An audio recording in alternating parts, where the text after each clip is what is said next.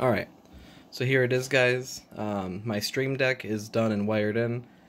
Don't mind the cable management behind here. As you can see, I put the boxes on the side for this, so I have to just tie wrap it up and make it look all pretty. But for now, we're just focusing on the um, the Stream Deck. So I have, um, I've shown people before that I wired in my room there's a light for over there.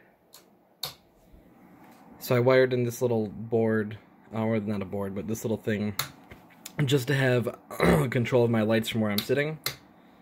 Then I have this. It's just 15 plus hours between the design. I took an old Atari case and um, some arcade switches. So, um, yep, took that and then I painted it. You can tell I sanded it down. There was some Atari logos and there's this piece that I have to fill in and paint and then I'll put it back in there. Or maybe I'll put like a light or something in the middle here. But regardless, there's that. So let's just, you know, let's, let's get into it. Um, right here is the lights. Now, at first you'll see that only the white and the blue lights come on. These are uh, my main my main ones that I'm going to be using while recording. This one is for the desktop. I can turn it on or off. So you'll see here, I got my um, recorder going on. Turn the desktop on with this one. Yep. And then turn it back off with that one. I know that the buttons are a little clicky, but I'll if it's if it's too noisy um, on the recording, like if the microphones actually pick it up, I'll fix it. But if not, hey.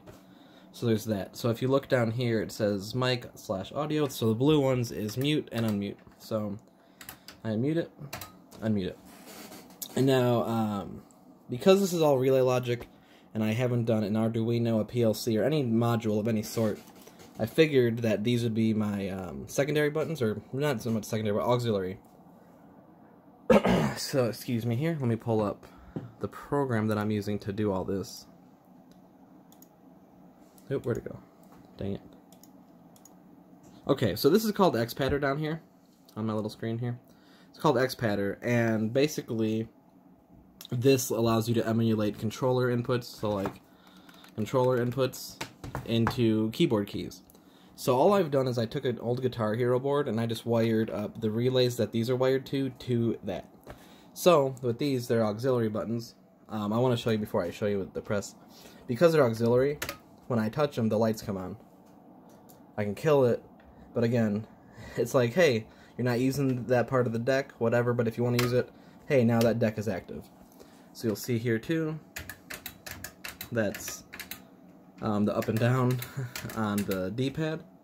And you can see that's that's one is the D-pad and one is a fret. That is a fret. So then I also have here um, recording start and stop. So when I hit record, you'll see it starts to record, but what also happens is this light stays on. Again, through the relays and everything that I got, I can keep, control the lights all separately. So it's recording. I actually hit start too quickly, but you start your recording, and then you're like, hey, I'm done. Kill it. Now these last two are not done through the board at all, and they don't go through the computer. Um, well, they go through the board, but they don't go through the computer. So this one, I don't know if you can see over here, that light will turn on. So same thing, the light, and then the greens only are only momentary and they'll turn on when you press them. But so this one is my actual on-air sign out here that I have. So now I'm off. There you go, there's my Stream Deck. I mean, it's something that what it looks like is very simple, but um, I got two 15 conductor cables in there. I only have three spare wires, so every friggin' wire basically is being used. Um, I've got 17 relays because I have to be able to um, tell the Guitar Hero board a separate signal that I'm telling the boards, like for the, like the, like this part where the lights actually stay on. The the light is 12 volts. A Guitar Hero board, if I put 12 volts through it, I'm gonna fry it, you know. So that's where the relays come in play. These th these ones right here are hooked up to like four relays individually, and then like same with these ones, they're hooked up.